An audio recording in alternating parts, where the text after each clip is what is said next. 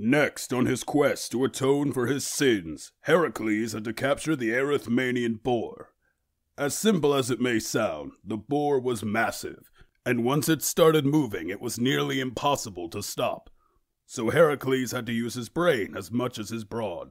This plan came under way when he found the boar and shouted at it, causing it to stir and start before chasing it. And as he chased it, he turned it about a thicket, confusing it and changing its direction before moving into a field of snow and eventually pushing it to a stop within a snowbank, the beast being slowed, beaten, and battered by the movement.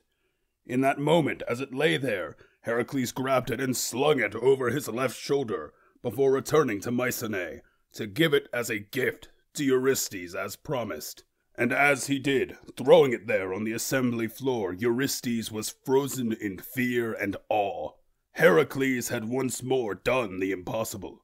More tasks were on the way, but those are a story for a different day.